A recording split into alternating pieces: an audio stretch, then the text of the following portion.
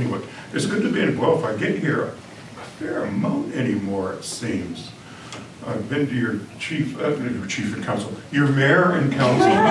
Your mayor and council a few times, and I've uh, been to your historical society a few times. So it's it's it's uh, it's good to be here. So my job this afternoon is to explain a bit about the history of the Mississaugas of the Credit First Nation. Uh, I've entitled my talk, We're Still Here. Uh, That's getting kind of stale because I've been using it for I don't know how many years now. But really, it, it's still kind of stale but truthful. People don't realize that we're the treaty holders for this part of Ontario. The only treaty holders recognized by the British Crown before that negotiated all these treaties and the Canadian government that came afterwards, okay? The only treaty holders, no other nation at this end of Lake Ontario. So we're going to go through that and uh, explain some of that today. So you're going to get hit with a lot of history, and some of it you might know, some of it you might not know, and part of not knowing is my fault because I was a teacher for all those years, and I didn't cover up the material either. You know, I was faced uh, way back when I started teaching 30 years ago. I was given a curriculum paper that said you have to cover Indigenous history for all of Canada in two weeks, and you better get it done. You know, I could do it. Well, I thought I was doing it in those days. You know, you live by the document, and so I live by the document, but nowadays I'm not so, so rushed. Anyway, as I get older, I find the spirit is willing, but the flesh is weak. And so that is why I sit down during presentations anymore. I used to stand all the time until I fainted one time in front of a school. And then the doctor said to me, did you ever think about asking for a chair? And I said, no, I can't do that. You're being asked to go out there and speak a stand up. Next time, ask for a chair. I took his advice, so now I don't live any longer in fear of fainting in front of, there's about 300 kids there. Fortunately, as a teacher, I don't get embarrassed too often by anything. Not much anymore. So we're still here. You might have known us before as the Mississaugas of the New Credit First Nation. Up until, I guess, just before the pandemic, we were known as the Mississaugas of New Credit. And uh, someone said uh, at the time, what's this new in our name? There's nothing new about us. We've been around for hundreds of thousands of years, generations. So let's get rid of that new. We're very ancient people. Resonated with the chief and council, resonated with the band membership, so we struck out new, and now we're simply known as the Mississaugas of the Credit. And I'll explain later how we get the full name, Mississaugas of the Credit. Okay, so when you think about the Mississaugas, we're only in Ontario as a nation. You won't find us anywhere else in Canada, unlike other groups like the Mi'kmaq in uh, Nova Scotia, New Brunswick, the maritime area, uh, or the Cree found out in various uh, provinces. We are fairly limited to southern Ontario. And uh, really, if you've heard of the Chippewa people or the Ojibwe people, same group of people, just different names, we are a subgroup of the Chippewa, a subgroup of the Ojibwe people, and we got the name Mississaugas given to us by the settler government. But basically, we are the Ojibwe people living on the north shore of Lake Ontario and Lake Erie. There's a small little tiny First Nation left in Huron, but you'll, you'll figure that out a bit later. Uh, and so that in our own language, we refer to ourselves as the Anishinaabe, meaning the human beings or people. So just think Mississaugas, North Shore, Lake Ontario, Lake Erie, you got it. You won't find us anywhere else. You find individuals here and there all over the place, but as nations, here. Now, we have, okay, come on, let me do, oh, let me try this. Easy enough. We have our own migration story. Our migration story, it's oral history. It's not written down anywhere. One day I hope that uh, full-time historians will devote themselves to this. But this is our oral tradition that we started on the eastern seaboard. the Maritimes area. And in response to an ancient prophecy that foretold the coming of the light-skinned race, we had to move if we were to survive. And so the Anishinaabe peoples took that to heart, and we migrated down the south shore of the St. Lawrence River and into the Great Lakes Basin. We were told to move to where the food grows on the water, and that was somewhere farther out west. The final end of the migration, or the end of the migration, I should say, took place on Madeline Island, Wisconsin, western end of Lake Superior. That's where it ended for many of the Anishinaabe people. But for the Mississaugas of the credit, well, we didn't go, the, uh, the ancestors of the Mississaugas of the credit, we didn't make it the entire way. Many other groups left the migration part way. They found places that they liked for fishing, hunting, whatever, and they just left the migration. And that's the way it was with our people. We left the migration,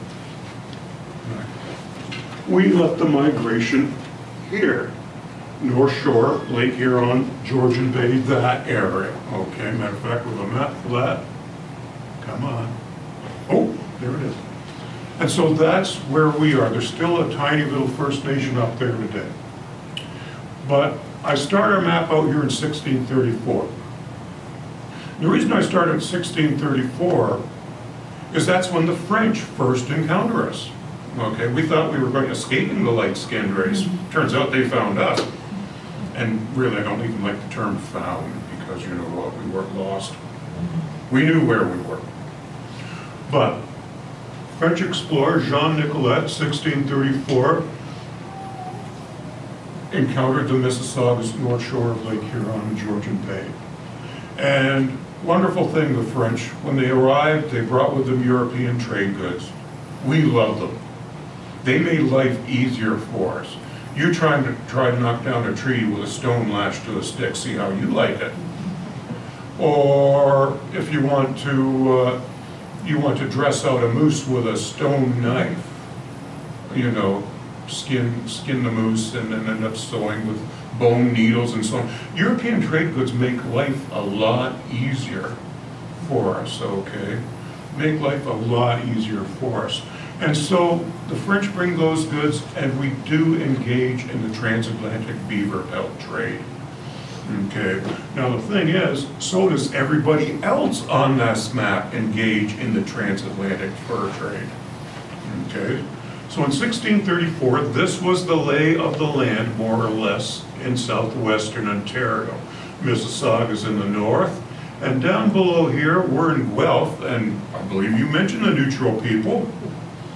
Guelph was occupied by the Attawandaron people, or the neutrals, whatever what you like to call Toronto, the Huron-Wendat area, farther to the uh, west, the tobacco people.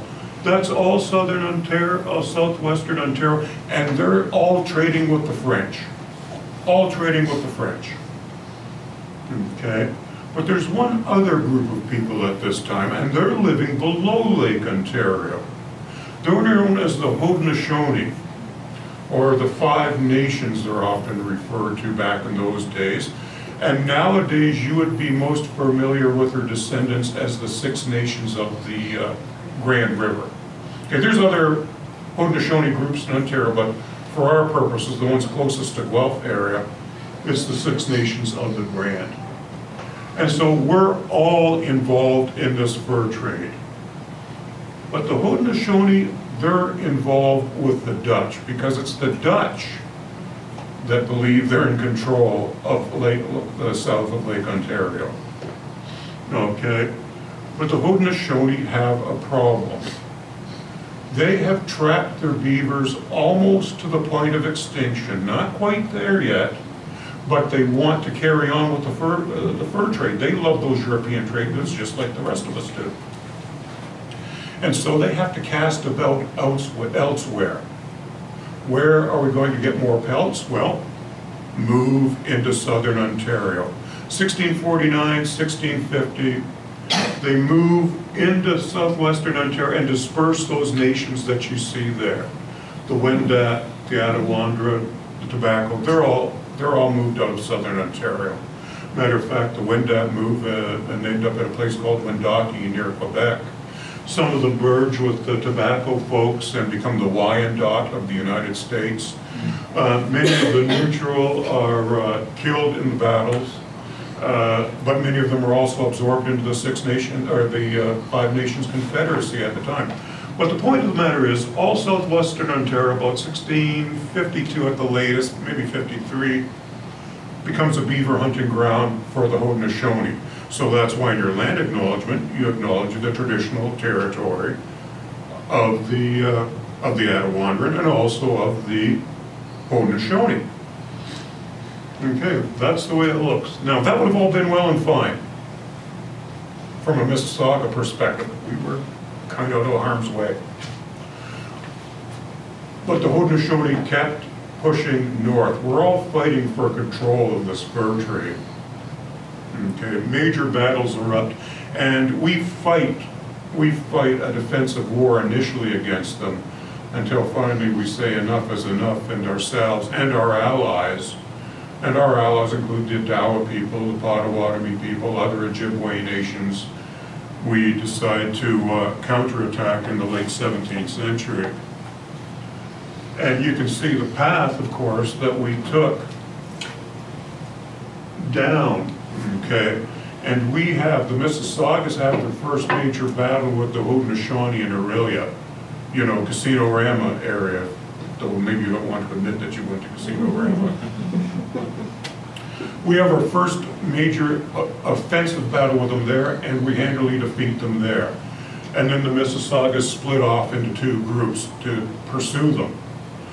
A larger group of Mississaugas head to the east, okay, and uh, chase them out of the eastern end of Lake Ontario.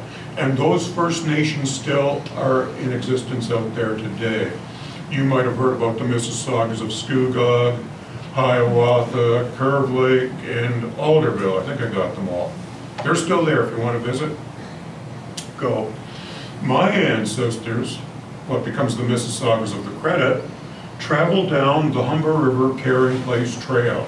And at the western end of Lake Ontario, that's where we drive them out. Last battle's fought at Burlington Bay. Okay, matter of fact, just uh, more or less, you know how the, what's that bridge? Skyway, Skyway. Either end of the Skyway, and as late as the uh, 1830s, there were signs of the fortification at the, uh, at the time, okay? I don't know what's, I'm sure, pretty sure it's all concrete under nowadays. But there were signs of those, uh, those uh, battles. Okay, we, at the last major battle, we left two of the Haudenosaunee alive. These were brutal wars, wars essentially of extermination. And it was said that they were, they were told not to return to southern Ontario, that they would die if they returned to southern Ontario, because this was now the land of the Anishinaabe peoples, including the Mississaugas. Anyway, the fur trade languishing a bit in this time of warfare. By the way, we know it as the time of the Beaver War. It languishes a bit. It's not very good for the First Nations having a go at each other. Beaver pelts are not coming in. So the French broker a peace in 1701 in Montreal, known as the Great Peace of Montreal, and peace is generally restored in the Great Lakes region. Not to mention, we still have a go at one another every now and then. But it's not full-scale warfare like it was. So anyway, in 1701, peace comes, and this is the territory recognized uh, as the Mississaugas of the Credit Territory at the western end of Lake Ontario. And so here is the Rouge River. Travel west, you come to the headwaters of the Thames, go southward, all the way down to Long Point on Lake Erie, and then follow the shoreline all the way around till you get to the Rouge. Again, that's about four million acres of land that we claim as our territory. And uh, many of you recognize the Greater Golden Horseshoe area. Greater Golden Horseshoe area. and uh, probably the most heavily populated, or most densely populated certainly, and uh, industrialized region in all of Canada, and it's on our territory. Okay, it's on our territory. You'll see I've marked off a number of rivers. That's because we were always a water people. The Mississaugas of the credit. This is fall. This would be the time you'd find us uh, building, uh, putting our wigwams at the mouths of rivers and creeks. It's time to partake of the fishery again before winter. We usually, that's where we usually build our homes in the spring and fall. They're very portable homes. You'll see a picture of them later. But always at the mouths of rivers and creeks. And so you'll see all those major rivers marked, and you'll, and uh, that's where you find us if you're suddenly transported back in time. Okay, so very relatively prosperous time for us, hunting, fishing, and gathering. We're not a people that build huge permanent villages. Okay, we just don't do that. Not, unlike the Attawandaron people, the neutral people, that build palisaded longhouse villages, we have much more modest homes, portable, easy to move, going with the seasons. I just like to say seasonally migrant people. We're not farmers. We're poor excuse for farmers. I'll tell you that right now. We just didn't care. If it grew, fine. If it didn't, fine too. You know, we weren't concerned. So that's the size of our territory. One of these rivers is more important than all the rest, and that is number four. It's known as the Missinihe to us. You might know it as the Credit River. It, and we still send people out and do ceremony there to this very day. Okay, that's how important it is to us. Matter of fact, we just refinished our council house. And one of the first things our people did, we sent some of our band counselors out to pick out rocks from the Credit River. And they now inlay our council house table. Okay, so it's always that symbolic presence of the, uh, of the credit. So anyway, no matter where we were on our four million acres of land, and we were usually spread out in small family groups in the winter, hunting, trapping, no matter where we were, once it started to warm up in the spring, we'd all converge on the Credit River. I like to say it was a family reunion of sorts.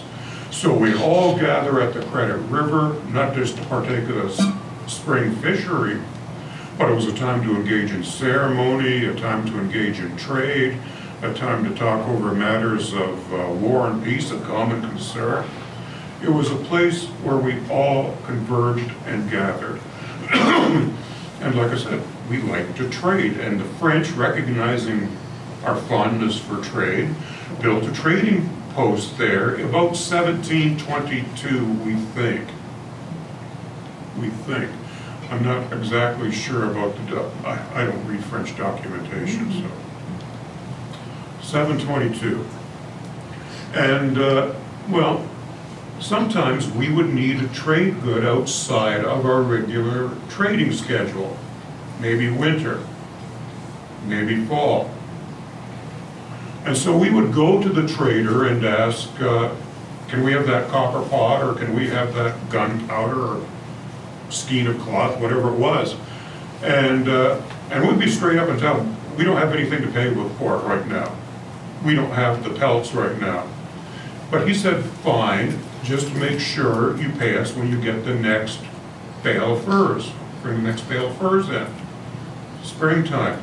So he extended credit to us.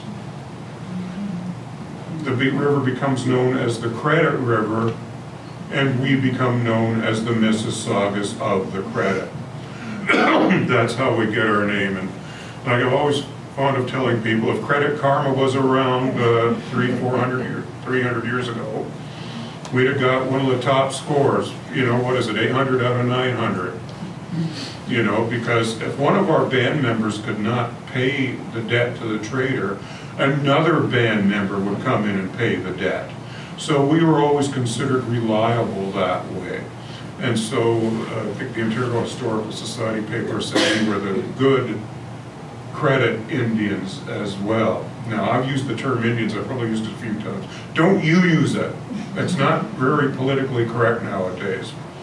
But as I tell uh, some of our band members, we talk about it, most of us, we have no issue with it. Matter of fact, we all got cards in our wallet that says Certificate of Indian Status. And that's what we are, we're governed by the Indian Act. So, anyway, be careful how you use it if you're gonna try. Uh, anyway, so there's an upper reach of the, uh, one of the upper reaches of the credit.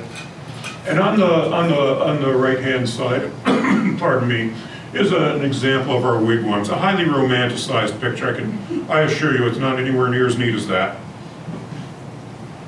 But I like the picture because it shows the portability, that they can just be moved, okay, at a moment's notice. Uh, I know from reading some of the first-hand accounts of the French and so on, that they weren't so neat, okay, weren't so neat. But nevertheless, it gets the idea of living close to water and that, and that portability. Like I said, this is the 1700s now. Relatively prosperous times. We got along with the French. We loved the French. They brought us trade goods. They intermarried with us. Uh, they learned our language. They gave us presents for using our, our- for crossing our lands. And the interesting thing, and, and and the great thing is, they never wanted our land. They never wanted our land. But all that's going to end when the British take over from the French. I'm sure you remember back to your grade school days, 1759, Battle of the Plains of Abraham. A few years later, the Treaty of Paris, 1763. New France is gone. England takes over French possessions. And, uh, well, now the British are the only game in town for us to trade with. Okay, and the British aren't quite so friendly as the French. Okay, not quite so friendly. And like I said, they have that insatiable desire for, uh, for uh, land. And so that's, we're going to go into another period of our history now. This is important for us anyway, for our people, and that's the treaty-making period of our history. Okay. Now, a treaty, is nothing difficult about a treaty, really. Maybe some of the language if you're ever trying to read one. But a treaty is simply a negotiated agreement between nations, and it's usually, notice I said between nations too, because that's what the British thought they were dealing with, individual nations. And it's usually, the deal is usually memorialized in some way.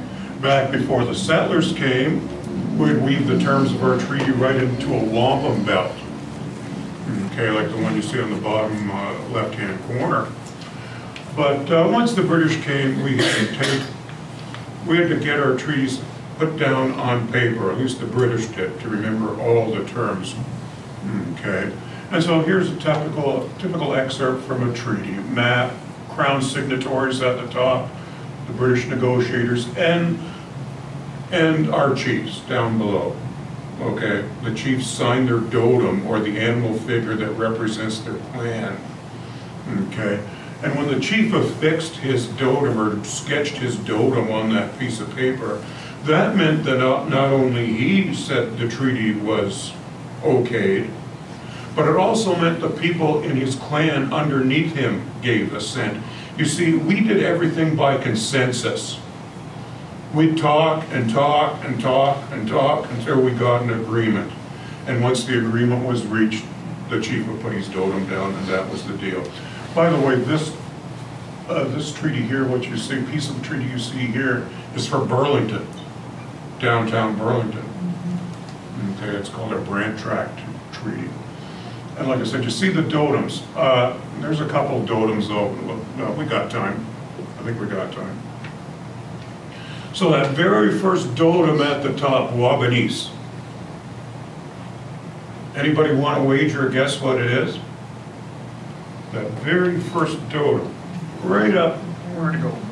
Right at the top. Right at the top. I heard something. Yes. No, it is a bird. Yeah, a goose. Oh, that's the first thing I thought it was two years ago. It's an eagle. It's an eagle, you can tell it's an eagle by his claws and a beak. That's how you tell that's an eagle. Uh, Okay, so you got that, so that was an eagle from the Eagle clan. Now, the next one, that's the one, Otter. that is an otter. You're looking down as the otter swimming. If you're looking on a bridge down, that's the otter swimming. I thought it was a catfish the first time I saw it. It's very distinctly an otter. Its head's up, its tail's back, and you've got the the feet going out on each side. Yeah. Yeah, well, I remember too, an otter can be also shown in profile on the ground. Yeah. Okay, so an otter can come a couple ways, otter can come a couple ways. So anyway, typical treaty, okay, typical treaty. Now, the very first treaty we have with the British, and it's not for land, it's a treaty to establish peace, friendship, and allyship on the land. That's for this, the Covenant Chain Wampum Belt, okay? Uh, the British want to, the British recognize that we are both on the land. And it, the British government in the Royal Proclamation of 1763 had laid rules out for acquiring land from the First Nations. Okay, ordinary people couldn't buy land. An ordinary settler, one of you by yourselves, couldn't buy land. The British Crown would buy the land and then would distribute it to the settlers.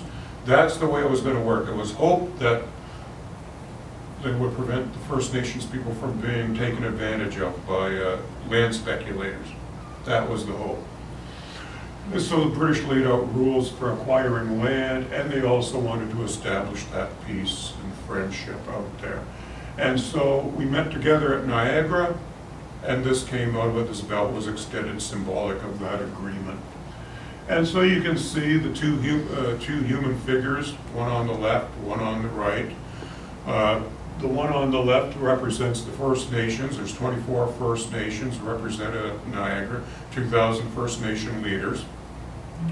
And the one on the right is the British figure, and this is where I usually get the chance to ask, how do you tell the British figure from the First Nations figure? Well, we say because the British figure has a black heart.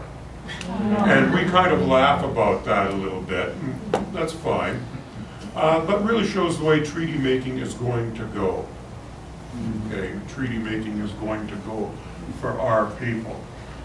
By the way, the principles of the Royal Proclamation as symbolized in this belt are found in the Canadian Constitution, mentioned in it even to this day.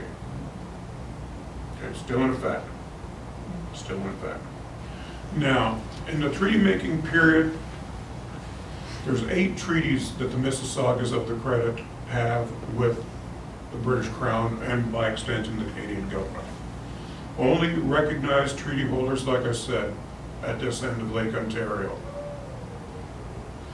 Okay, eight treaties, you can see our territory, the large thick black line, and each color represents a different uh, treaty that we have with the Crown. Now, the thing that starts this treaty making off in earnest is the American Revolution. You remember the American, uh, the, uh, the British had 13 colonies along the eastern seaboard of the United States, started way back in the uh, early 1600s.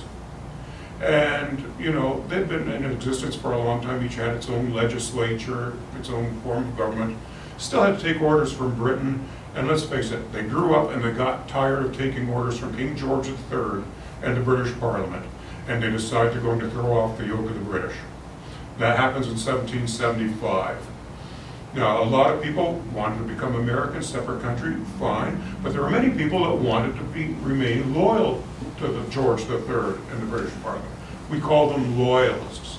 But nasty things could happen to you if you were a loyalist in rebel territory. Tarred and feathered, rode out of town on rails, uh, thrown in jail, property confiscated, all kinds of nasty stuff. But if you could make your way northward into lands held, still held by the British, you would be rewarded for your loyalty. You'd get grants of land, you'd get new farm equipment, s- start life anew.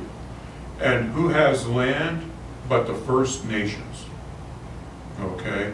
And remember, Royal Proclamation of 1763 laid out the rules by which the British would acquire land. They're not gonna do it by military conquest. They're gonna do it through negotiation. And so they do. The very first oh, I didn't get to show you this picture, not it's that exciting. Poor gentleman on the left's getting tarred and feathered. Okay, but great impetus to start the treaty-making process. The very first treaty the Mississaugas of the Credit signed with the British Crown is for this strip of land along the western bank of uh, the Niagara River. Full length. It's a strip of land about four miles wide or six kilometers if you're the metric measurement, which I guess we should all be. There's a reason I had to go through metric in grade one when I was a kid. Here we are. You'll never, the British needed that land, one, as a safe passage around Niagara Falls, a safe way of getting around it. The other thing, they needed land to feed British troops fighting the revolution. This treaty signed in 1781. The revolution's almost over, not quite, two years left to go. And this is what the British negotiated. You'll never guess what we got for that tract of land. Know those nice red, British red coats with the facings? That's what we got. 300 British coats. The man that negotiated the deal, the governor of the Indian Department at the time, was Sir Guy Johnson, I should say governor of the Northern Indian Department, Sir Guy Johnson, bragged to his friends, I really didn't pay anything for that land. I was going to give them the red coats anyway for, for keeping them on our side in the Revolutionary War, or in the conflict with the rebels. So he thought he was pulling a fast one on us, and I suppose he was. But what it also illustrated was that the British recognized that the Mississaugas of the credit were the stewards, occupants, and uh, land occupiers of this end of, of uh, Lake Ontario. And so more treaties would come, eight, eight to be exact, and there's probably one or two left in the works. Now, this is where you folks in Guelph come in. Now you get excited, it has something to do with you. Number three, you're in our Treaty Three lands. The Treaty Three lands, called Between the Lakes Treaty. Okay, and this is you folks. Matter of fact, I'll just skip ahead a little bit. Well, that purple is our Between the Lakes, and you can see Guelph, Guelph there. Me. Yeah, you can see the city of Guelph where it is. Okay. So between the Lakes Treaty, and this is negotiated in 1784, and it's negotiated for a very special set of loyalists. Remember those Haudenosaunee we drove out at the end of the Beaver Wars and said, don't come back, otherwise you're gonna, you know, you're gonna meet your demise. Well, they had fought for the British during the Revolution. They were allies of the British just like we were. However, when the American Revolution ended, the British treated them rather shabbily. They did not make provision for them when the war ended. And a lot of them lost their lands. And they were led by Joseph Brant, Mohawk war chief. Brant was named after him. And he approached the governor of uh, Quebec, because this part of Canada was known as Quebec in those days, and reminded Governor Haldimand about their loyalty to the crown during the conflict. And Haldimand agreed that they should be resettled somewhere.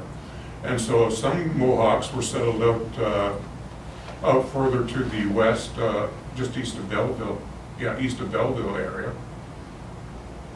But Joseph Brant and his specific group of people expressed interest in land on the Grand River.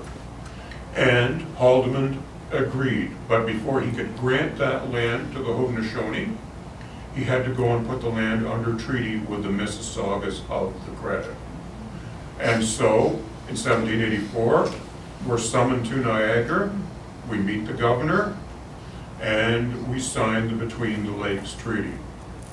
And soon after, Joseph Brant and the Haudenosaunee move into that strip of land that you see there, that black strip of land. It's known as the Haldimand Tract. Uh, You might have heard of as the Haldimand deed lands and so on. Okay, and so that's what they were granted. And they move in there in October of that year. Okay. Now, controversy about that land, it's a deed, it's a grant, it is not a treaty. Okay? It is not a treaty, it is a grant of land. And so much in the news, well, not as much in the news as late, but remember a few years ago, you had whole issues dealing with uh, land occupancy around Caledonia and the extent of the Haldimand Tract. So every now and then it crops up in the news if you're watching, and uh, the uh, Six Nations, of course, are uh, embroiled in a, in a, in a- in a battle with the uh, federal government to get that all resolved. So, anyway, I won't touch on that, that's their business, not mine. So anyway, once again, here's Guelph. So you see, you're right, and just, uh, well, I don't know where exactly, I'm- I get disoriented around here. So just not too far away, we have another major treaty, probably within five minutes drive, 10 minutes drive of Guelph. The Ajetance Treaty of 18, uh, 18, but we'll get to that too. So some of these treaties I've talked about thus far are all early treaties. And I always say there was no meeting of the minds in those treaties. You know, no meeting of the minds whatsoever. First Nations don't have the concept of land ownership. We got it now, but back then we didn't have it. We might occupy land, we might steward land, we might even control it, but we don't own it. It's absurd when you think about it in, in some ways. How far down deep do you own the land? Five feet, 10 feet? Six inches? How far above do you own? In a way, it's a little bit absurd. Like I said, it's a gift from the Creator, that's what we use. It's ours. You start giving away gifts, I don't know. So we went into these early treaties. We thought we were sharing the land with the settlers. They would do their thing. We knew they were going to build villages and roads and establish farms. We weren't stupid, we knew that was going on. But by the same token, we knew that we would uh, be able to hunt, fish, and gather. We thought we knew we would be able to hunt, fish, and gather as always. There was room enough for everybody, and the treaties would be mutually beneficial agreements. Both sides would be benefited. Hmm. The British, on the other hand, thought they were getting outright, purchasing the land outright. It was theirs. What's the term in real estate? Fee simple? It's theirs. You do what you want with it. As long as you don't break any bylaws, that's the way it is today. It's yours. You don't have to share it with anybody. There's no concept of sharing there. It's exclusive. It's yours. And it took us a while to realize we weren't sharing. We weren't sharing. We found out. It took us a while. So anyway, these treaties you can all find online. They're all there. And if you look at the treaties, uh, you'll see it's a land description. Go from point A to point B to point C to point D. Here's the boundaries. And here's what we're giving you. Now, for the land that you're on here in Guelph, the Mississaugas of the credit received a one-time payment of 1,180 British pounds. One-time payment. Okay. So, and that's what you'll see reflected in the agreement if you look up the treaties online. They don't talk about treaty rights. They don't give treaty rights to us. They don't take them away from us, those early treaties. They're silent on treaty rights. So we talk about indigenous rights, if you will, inherent rights, but we aren't big on talking treaty rights, at least these early treaties. Okay, so, uh, First Nations perspective, like I said, we're sharing. But we say those treaties do not take away our right to self-determination, our right to stewardship over the lands, the right to harvest, and the right to be sustained by our lands, water, and circumstance, uh, well, and water and resources, I should say. So that's what we tend to put forward in our arguments, that we still have the right to be sustained by our lands, waters, and resources there. So no real meeting of the minds way back in the late 18th century and early 19th century. And no better example than Toronto. No better example in Toronto. 1787, the British come to us in Toronto, uh, in, in uh, the Credit River area, pardon me, getting mixed up, in uh, the Bay of Quinte area and ask for land around Toronto. We agreed. That's 1787. The next year, a surveyor is sent out. And the surveyor meets our people, comes upon them actually by chance, at the, uh, at the Etobicoke River. We're there, what are you doing here at the Etobicoke River? Well, we made the deal last year that this was the eastern boundary of what we got last year. No, it's not, we said Don River. So disagreement there. Uh, The British thought they had acquired everything from the Etobicoke Creek, or Etobicoke River, if you will, all the way over to Ashbridges Bay. We thought they got the land between uh, the Humber and the Don, which is a much, much smaller parcel of land.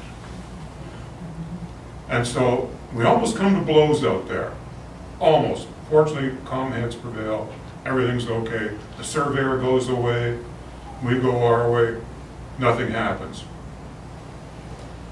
Till about a uh, few years later, in 1892, 93, the British decide they want to, they were, the 18, uh, 17, uh, 1792, 1793, the British decide they want to see what they acquired in this Toronto purchase. They dig out the deed and they find there's no land description on it. And they find out that the doodems of our chiefs have been glued on from another piece of paper. And so the British realize, uh-oh, we don't have clear title to the land. They violated their own royal proclamation. We got to renegotiate. And so finally, in 1805, they renegotiate. And this time, this time, they get 250,000 acres of land, including Toronto Islands. That's what you're seeing on the left-hand side is the 1805 deal. And uh, you'll never guess what we get for that. More red coats. No, no red coats, but I think we're smartened up a little bit by that time. Uh, we get uh, the equivalent of 60 Canadian dollars for 250, for 250,000 acres. And the interesting thing about that is, years later, in 1986, we said to the federal government, we said, listen, you took advantage of us back then, you took more land than you were supposed to, and you didn't live up to the honor of the crown, you didn't pay us what you were supposed to, the rightful payment. Because there's rules and treaties that you have to be, treat, uh, treat First Nations honorably, and, you know, they didn't, and it finally was resolved in 2010. It was resolved for the largest land claim in Canadian history at that time. At that time, $145 million. Okay? So it just goes to show you, no meeting of the minds. There's many of my people that say $145 million for Toronto? You agreed to that? Well, there was a cap on what the federal government would pay in those days to resolve a treaty. Right now, there's no cap, but back then there was. But when you think about $145 million, what's the average house go for nowadays? Anyway, you won't get into that. Uh, So we think everything's, it's not going good. The treaties are disastrous for our people. Treaties are disasters. We start the making, treaty-making process in 1781, and it goes all the way to 1820. We, by the time we get to the first 10 years, so let's talk about, well, you saw the Brant Tract Treaty there, that sketch. That's about 17, mid-1790s. Our population has dropped from 500 Mississaugas of the credit throughout that entire territory. 10 years later in the treaty-making process, we're down to 400. By the time we negotiate over Toronto the second time, 1805, we're down to 300. You can see where this is going. Okay, you see our traditional economy collapses We thought we were sharing the land with the settlers. We would do our thing, they would do their thing, and we'd just mutually benefit from each other. Well, we find our traditional economy collapse because we find our, our traditional paths fenced off. We're being driven off our uh, camping grounds, our traditional hunting grounds, and told to move. And there's such things as, things like laws like trespass that we didn't know anything about. Trespass, what's that? We didn't know about the trespass when we walked through a farmer's field. And so finally, we wake up in 1806 when the crown wants more land, and our chief Quintapano says to Colonel Claus, he's the crown negotiator, Father, why are we so ill-treated? Whenever you asked for land before, we gave it to you cheerfully. And now you threaten to shoot us, you threaten to shoot our dogs. Father, why are we so ill-treated? But nevertheless, we are in no position to argue. Okay, because our population's dwindling, our traditional economy's collapsed. We're not gonna fight anybody. We're not gonna argue anybody, with anybody. Okay, so very disastrous. So by the time we negotiate this treaty in eighteen, well, put it this way, I'll say this, the War of eighteen twelve intervenes. The war, and guess, guess whose side we fight on? We fight on the British side again. And we and the other First Nations help the British repulse the American invasions. Canada remains essentially a British country. And so we think we get a bit of a respite. We've proven ourselves as friends and allies. Here they come to us again, and they want more land. This is the Ajetance Treaty. Colonel Claus come to us, comes to us in 1818. He's, and he says this right to us, I see your children are thin and miserable. Why don't you give the lands to your very great father, and uh, you're not making use of it? And so we do. And in return, he promises us, promises to clothe our women and children. He will give the band an annuity of five hundred and forty pounds, and I forget the amount of shillings it was. In perpetuity, you know the phrase, as long as the grass grows, as long as, the you know, all that kind of mumbo jumbo. So he promises that, and so we could agree. Needless to say, I don't have to tell you, about ten years later, our chiefs are complaining that we're getting shortchanged on the, uh, the deal. So that's the Ajetance treaty, that's the neighboring treaty to Guelph. But we were careful. We were relatively careful. We kept our fisheries at Twelve Mile Creek. Uh, you might know it better as Bronte Creek, I guess you might know it better as Bronte Creek, uh, Sixteen Mile Creek, and at the Credit River. We kept our fisheries there because we, we had to have something to sustain ourselves, okay? Because our population, like I said, traditionally complex diseases, we're riddled with disease. We've got everything going and no way to cure them. The settlers brought with us some nasty illnesses that don't mean much to us nowadays. Uh, you know, measles, smallpox, uh, flus, influenza. Nothing, nothing that we can't handle unless we think about COVID a little bit, then we, you know, we're all in a bit of trouble then. But nothing nowadays that would worry us. Uh, anyway, so he comes to us in eighteen twenty. He basically says again to us, why don't you give the lands into the hands of your very great father and we will take care of them for you? We do because, as our chief said, Father, take the lands for we will not be around to enjoy them much longer. We thought we were on the verge of extinction. I suppose we were because there's only two hundred of us now. The Crown thought we were on the verge of extinction. In return for those lands, the Crown promised to hold the land for us. If they sold land in their land or rented it to the farmers, they would use the proceeds to support the Mississaugas of the credit. So we put the lands in trust with the Crown. And so that was the end. Our treaty-making process ends in 1820. And all we are left with is uh, 200 acres of land. That's it. Matter of fact, that two hundred acres, let me see if I can find it, there it is, oh, not that one. Is for that red spot that you see there, and that was left for us in case we ever decided to move into a village. That was reserved us. So in the span of about thirty-nine years, we went from four million acres of land to two hundred acres of land, so barely an acre per person. Realistically, can anybody survive, survive on an acre of land? And so, yeah, and from five hundred people to two hundred people. Everybody thought we were going to be extinct. The Crown did, we did. We thought it was over. We disintegrate as a band. No longer Mississaugas of the credit. But one of our band members come to our rescue, okay? And that's this man. That's this man, the Reverend Peter Jones. Actually, he's got a very interesting lineage. His father, well, his mother is Tuhbenahneequay.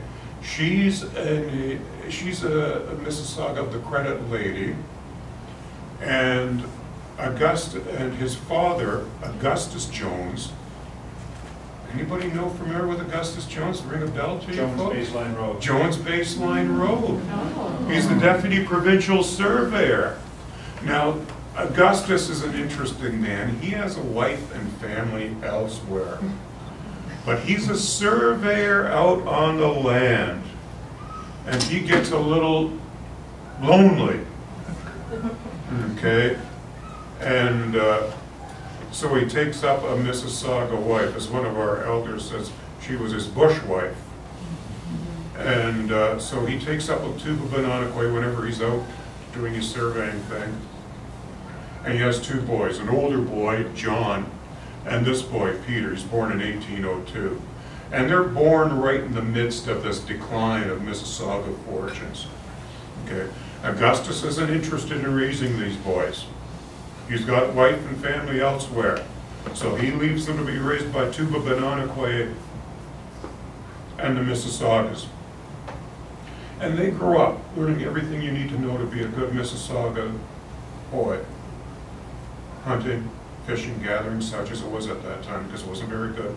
They know the ceremonies, they know the cultural norms and mores, they know all that.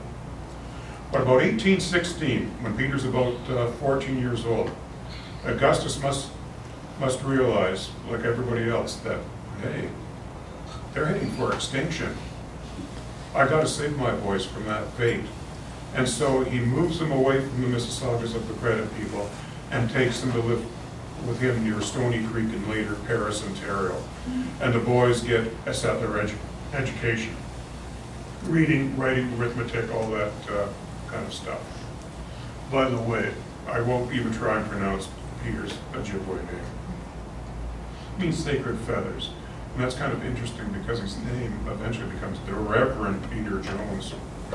So the boys learn settler education. The older boy becomes a surveyor like his dad. Peter becomes a brickmaker, uh, but with hopes of going into the fur trade, such as it was at that time, which wasn't very good either. One day, he's about oh, 21 years old, in 1823, he hears about a camp meeting in Ancaster, Ontario, just a religious revival meeting, and it's put on by the Methodists. You know them as the United Church people of today, okay? And he goes and he says he gets the good religion. He has a conversion experience there, and he becomes a very, very devout Methodist, and you can see his name, Reverend Peter Jones.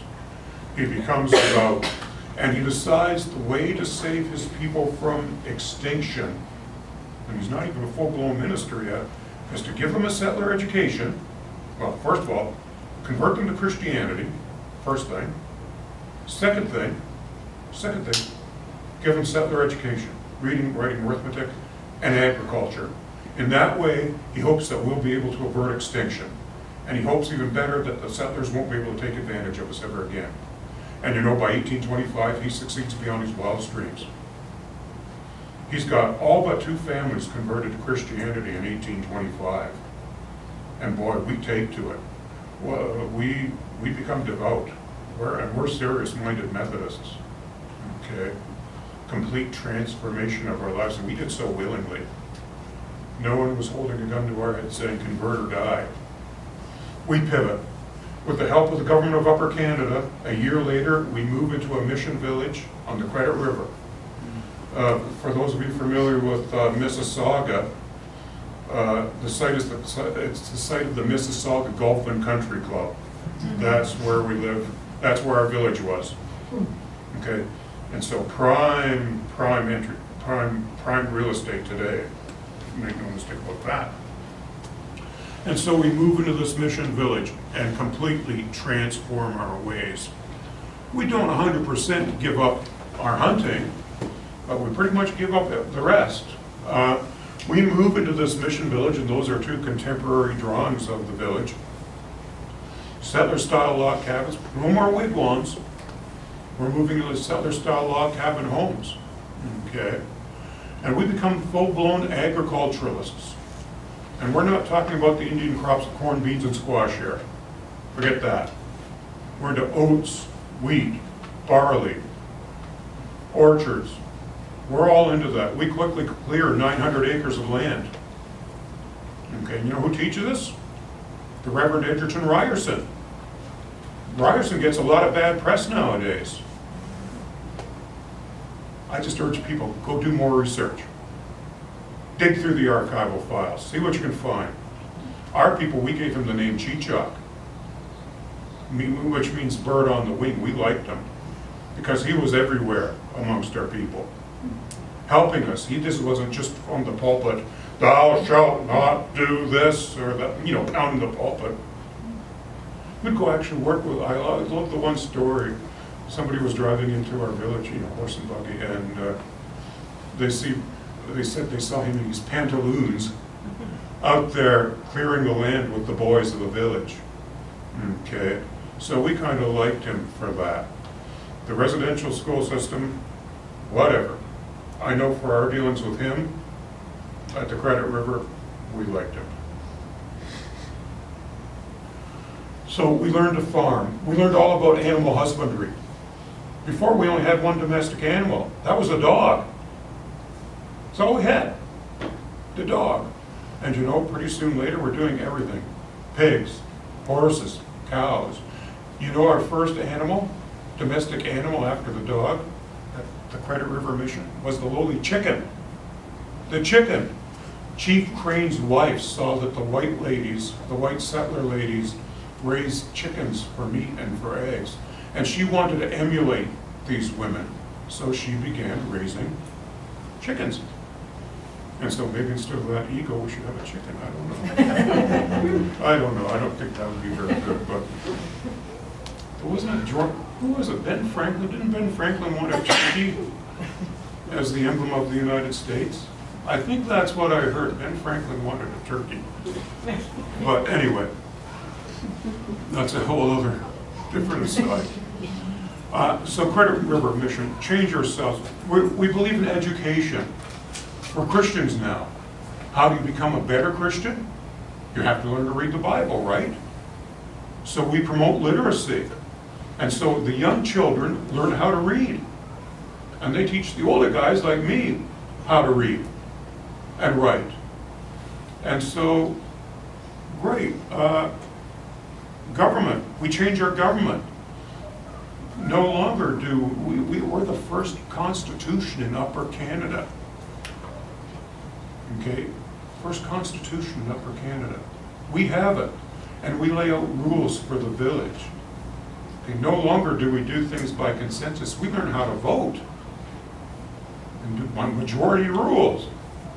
So complete transformation. Uh, Economics, of course, you know about the farming. Uh, Well, what else do we know about? We built, we're the major shareholders of the Credit River Harbor Company. We build two piers out into Lake Ontario so that we can ship and receive goods. And eventually, we build our own schooner from our own funds that we raise. It's called the Credit Chief, and we use it to sail our own wood that we cut along the, uh, along Lake Ontario. So complete transformation of our lives. Sawmill, grist mill, carpenter shops, shoemaker shops, even right down to our dress. We dressed exactly like the settlers. People were amazed that we dressed uh, like that. People were amazed when they visited our homes because it just looked like we were settlers. Though it did cause one of our, well, one of my distant relatives, his name was William Herkimer, who's also a missionary, became a Mississauga missionary. He kind of accused us of becoming brown Englishmen, you know, but, uh, but still. A bit of tense social tension is what, what do we keep? What do we keep of the old ways? What do we adopt of the new ways? A bit of tension in the community, but it was eventually resolved. And uh, fortunately, we're still here today. Now, there's always one problem, though, for First Nations people, and that's a problem we have today if you live on reserve. And this was a problem way back when the Credit River Mission Villages existed. We don't get title to our lands. Mm-hmm. We live on there because the government of Canada allows us to live there. And a matter of fact, you might have heard when you were younger, I don't hear about it too much anymore, about forced relocations of First Nations years ago. Don't hear as much nowadays, I'm sure it probably still does. I know it does happen in disaster scenes now and then they ask First Nations to move, but I don't know if it just pushed on them like it was in the old days. But anyway, we didn't get title to our lands. We couldn't get title to our lands. We tried and asked, uh, because we'd improved all this land. We cleared nine hundred acres of land. We got a hospital, we got a village with a hospital, we got businesses, we got all kinds. We've done great. And now we want title to our lands like everybody else. And uh, we even sent our chief, the boy you saw, Peter Jones, over to see Queen Victoria. He visited her in 18, uh, in 1837. He went over there in 1837, met her early on in 1838. And of course, uh, Queen Victoria seemed to give assent that we should get treaty to, or we should get uh, title to our lands. But the sad fact was uh, the Prime Minister at the time left office, and you know how a constitutional monarchy works. It's only as good as the Prime Minister. When the Prime Minister goes, everything falls to pieces. And so we never did get title to our lands. And that was scared because, we were scared because we knew the government could tell us to move at any time. Okay, and look at where the land is now, prime real estate, downtown Mississauga. Okay, even then we were hedged in almost to, to the point of trespassing, where the settlers were coming in on our land and cutting down our trees. Okay, so we always lived in fear that the land was going to be taken from us. And so we started looking around to go elsewhere. We looked at Muncey Town near London, Ontario. Couldn't get a consensus to do that one. But, uh, and then we looked to Owen Sound. We were invi invited to go to Owen Sound by the Anishinaabe people up there. And we went up there, we took, sent an exploratory team up there in uh, 1846, and we thought, we can't move here. We spent all this time learning how to farm. We come up here and there's rocky ground, there's not enough water, we can't farm up here. And so we told the government, uh, we're not gonna move, but the government said, you are moving. And so we had to look around for another place to go. Where are we going to go? You'll never guess who came to our aid.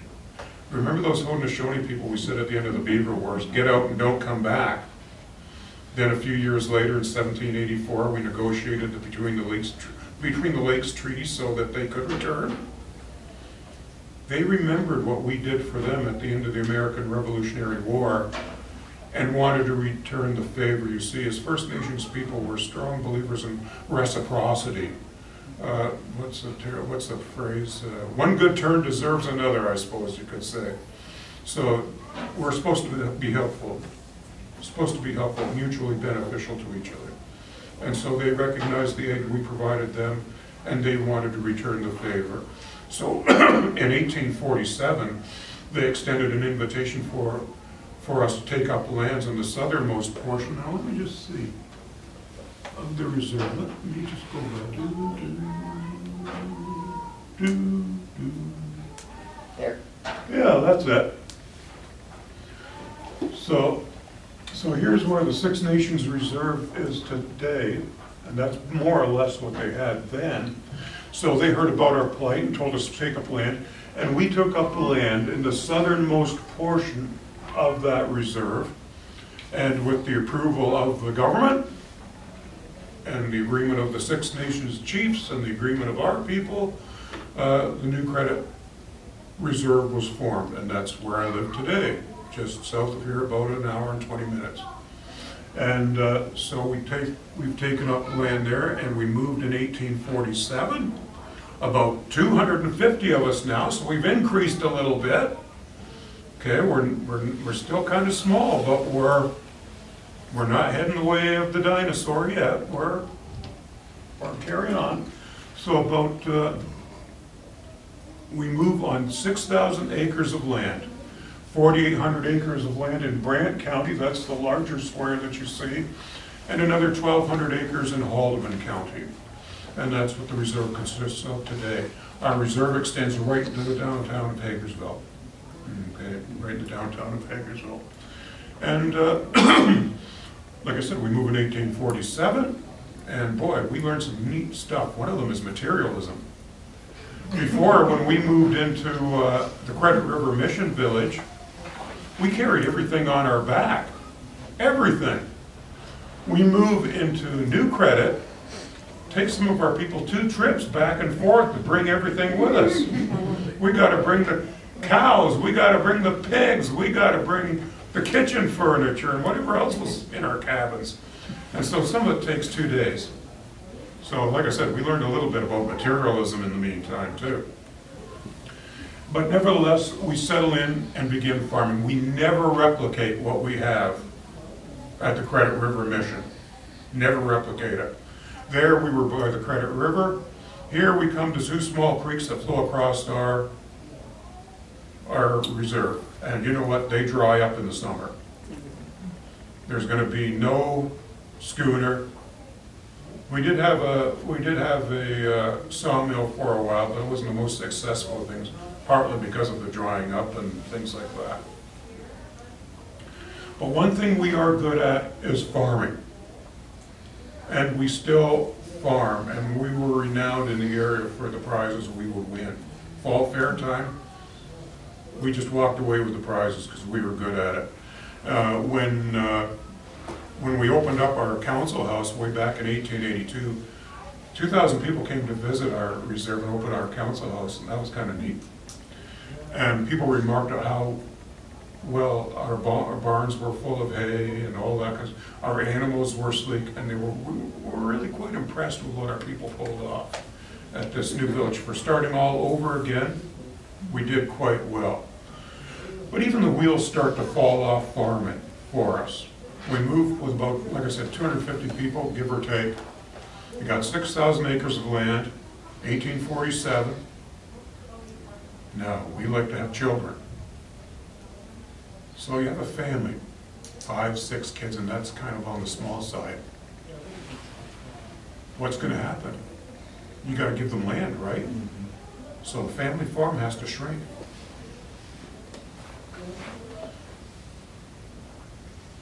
Now let's give it another twenty years, another generation, 20, 25 years, sixteen nineties, or, pardon me, eighteen nineties. Family farm has to shrink again. So that's a problem. Family farms can't support a family. There's also another problem. Uh, There's always improvements in agriculture, always. New threshing machine, whatever, you need to keep up with things. Well, if you're a good settler, you've done relatively well with your farm, you need that new farm equipment, you can put your land, go to the farm, or put the farm, uh, put the farm up at the bank for collateral, and you can purchase that, get a loan, purchase that new farm equipment. What I said, we don't get land. We don't own our land. We can't put it up. So we fall behind in farming. We can't keep up. I know my own family history has people plowing the land like, you know, Pa Ingalls, little house on the prairie type stuff. And that's the early nineteen thirties. Okay, so we were woefully far behind. The only thing that actually did make a difference in agriculture for us was World War One. We sent eleven percent of our population off to fight in the Great War. Or didn't come back. But the vast majority did, and they were able to get soldier settlement loans. And so then we could get some agricultural implements that helped us for a while. But really, what's happening, what happened turn of the last century, is still happening today. Uh, We have to move elsewhere. Okay, six thousand acres of land can't support it, isn't enough to support our people. Uh, It's agricultural land, but there's not much else going on there, okay? And so then people moved to the nearby towns of, uh, well, Hagersville. If you're familiar with Hagersville, have quarry mines out there, pit mines out there. Uh, The nearby towns of Brantford, Hamilton, go work in industry. That's at the turn of the last century. Uh, Nowadays, uh, we have the same problem. Our population is fairly well educated, but they have to go elsewhere to keep body and soul together. You know, I taught school for I don't know how many years before I went to live on the reserve. But we have all kinds of people uh, that have that same issue today. One of our band members, his name is Dr. Malcolm King, he's a medical researcher, was head at uh, University of Saskatchewan, maybe still is, and with, affiliated with the World Health Organization. Had to go elsewhere, practice medicine, and uh, and uh, do his medical research. Perhaps you've heard of Justice Harry LaForme of the Appellate Court of Ontario, uh, first Indigenous judge on the Appellate Court in Ontario. Had to go elsewhere to practice law. Uh, We even have a senator in Australia, of all things. He, his crap, his trade was journalism. And he went to Australia to practice journalism, ended up being the press officer for an MP in uh, uh, Australia. And then when his boss retired, he went over and took over the, the seat. And uh, he just recently retired from the Australian Senate. His name is Walter Secord. So we're dispersed all over the place. Our reserve, like I said, there's 2,700 members of our First Nation, but only one-third of us live on the reserve proper. The rest of us are dispersed elsewhere. Elsewhere. Anyway. So here's some modern buildings at New Credit. Not too many people visit us at New Credit. Many people have never been to a First Nation before. So if you're driving through, come and take a look. We're, we're modern looking and we don't bite. Okay? Because people are kind of afraid sometimes to go through the uh, reserve for whatever reason. And so we're modern just like everybody else, modern buildings and so on. And we're involved in our projects throughout our uh, treaty lands and territory. Uh, The department I work, work out of, the Department of Consultation and Accommodation, we meet with uh, proponents from about uh, 63 municipalities throughout uh, southern Ontario, and big people that want to do big projects on our lands, and we, we meet with them and get involved in them, involved with them. Right now, we're involved in uh, the revitalization of Ontario Place, you've heard all about that. Uh, We're involved in that for a while, one of the ones I was uh, terribly excited in. uh, Still am in a way, but I know it's not gonna happen. I guess I was just wanting to see what was gonna come out of it. Was Google, Sidewalk Labs is going to uh, Googleize part of the Toronto waterfront and make a, um, a showpiece for a city. You'd see what a computer-controlled city would look like. They had heated sidewalks, they had awnings coming off of buildings. They knew exactly what was going in your apartment and so on. Mind you, that might have been part of the problem too. People didn't like that their privacy would uh, be invaded. And uh, I think there was some thought too that, I think maybe Google or Sidewalk, whoever it was, was asking for more land than the uh, First City of Toronto was uh, willing to uh, part with. So anyway, we were part of that as part of being tree holders. It was not wise that we be part of that, uh, of that uh, process, and so we were for a time being. Like I said, I still have mixed feelings about it. I'd like to see what that would have looked like. That would have been exciting. But like everybody else, I don't want people knowing when I'm flushing my toilet and how much water I use and things like that. And that would have all been part of the uh, deal, I suspect. Anyway, so there's our treaty lands territory again. We still have some claims against the government, for example, the water claim. This, uh, we have, unex- we have, uh, we claimed, uh, we put a claim forward in 2016 for unextinguished aboriginal title to all the waters within our treaty lands and territory. There's only one treaty that sp- specifically spoke to parting with water, and that was our, one of our, uh, the treaty for the Credit River area. The rest are, are fairly silent, and we even asked the British, uh, does, does this include the waters as well? No, no, we only want your land. Well, now here we are, 2016, okay, we have title to our lands. We have unextinguished aboriginal title to our lands. We submitted that to government in 2016, and you know, here we are, geez, 2024, and they still haven't told us to go fly a kite. So that probably means they're thinking about it. Uh, There's probably some pretty big things to think about with that. But that's one of the claims we have about, uh, with the government. Another claim we have with the government right now is, uh, remember those Treaty 20, 22, uh, 23 lands where we put it in trust? And the government would look after it and it would give us proceeds from the lands. Guess who didn't keep track of the proceeds? And guess who, guess the, the, well, the man that was in charge of the proceeds way back in the eighteen, there was no track of the, nobody kept track of the money. And so we approached the Crown probably what, 2017, 2018 now. And you know what? We're in negotiations for that right now. The Crown readily admitted that they had not, uh, so now it's, uh, we're gonna see what happens with that. So I wouldn't be shocked within the next year, you hear something.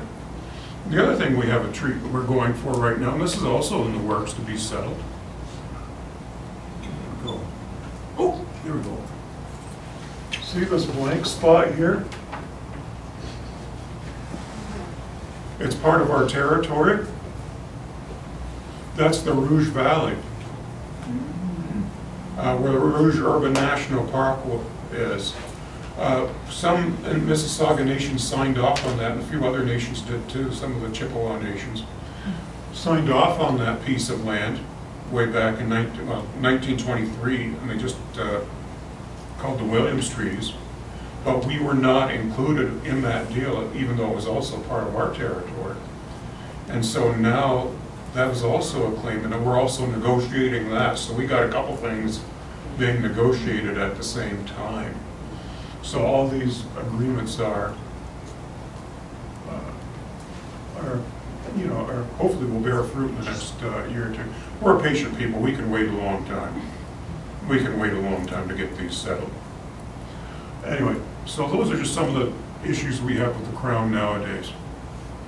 So, always these talks, I always get asked about reconciliation at these talks, you know, what's reconciliation, what's reconciliation? I know there's 94 calls to action that came out in 2015 from the Truth and Reconciliation Commission. I still don't know what reconciliation is. I can whip out a dictionary and know what recon, you know, to bring back to the original, to restore whatever once was. But our band has said, we don't really know what reconciliation is and uh, we're kind of coming to a consensus, I suppose, for us is, uh, hmm, the spirit of the treaties. The spirit, of that's, at least that's the starting point. And we always use this two-row wampum. I should, you know, it's two-row wampum, you've probably heard about it before. Uh, It was originally uh, formulated by the Dutch and the Haudenosaunee way back in the 1600s. And the way you can think of it as a river, 1613, wonderful. Actually, I think it was a little later than 1613, I think it's 1630 something. But anyway, I'll take your word for it. Is it thirteen or thirty-one? I could be. I'll, I'll take your word for it, I just know it's early 1600. Anyway, one purple strip is a a canoe, First Nations canoe. The other purple strip represents a settler ship. They're both going down the river in parallel, which means they're not interfere with each other. And a lot of Great Lakes tribes have adopted this wampum belt and said, that's the way we should deal with government. And I say nonsense. Nonsense. We've interfered with a lot. with each other a lot in the last couple hundred years. So that doesn't hold, but I do like the white beads. I do like the white beads that separate the two purple. They represent peace, respect, and friendship. And I say that's where reconciliation is going to begin. If we can talk to each other in peace, respect, and friendship, then reconciliation will come about naturally, organically. Okay, but we got to get to know each other. If you're gonna go down the same path, you're gonna have to become friends and talk to each other in a certain way. And this is how you do it. Peace, respect, and friendship. I don't know about great big ideals out there. I don't think it's ever gonna be forced on us by the government. It's gonna be people at the bottom of the pyramid, people like me, you, getting together, coming to an understanding, and then moving things forward that way. That's what to me is reconciliation, uh, or the beginning of reconciliation.